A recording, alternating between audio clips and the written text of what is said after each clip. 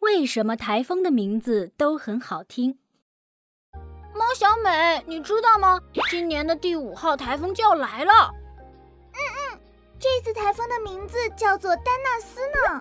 丹纳斯，好好听的名字啊！一定是个漂亮的小女孩吧？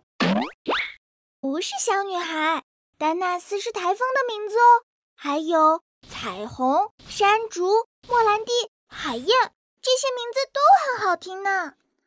啊，台风？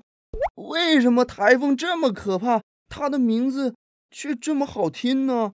爸爸给我说过，正是因为台风可怕，人们才给它取一些好听、有美好寓意的名字，希望能减少台风带来的伤害呢。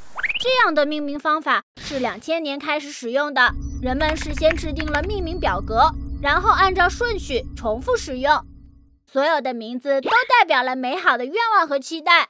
哦，原来是这样啊！是啊，爸爸还说，如果台风对人类造成很大伤害的话，它的名字就会被除名，用其他名字代替。像是莫兰蒂、海燕都造成了很大的伤害，所以被除名了呢。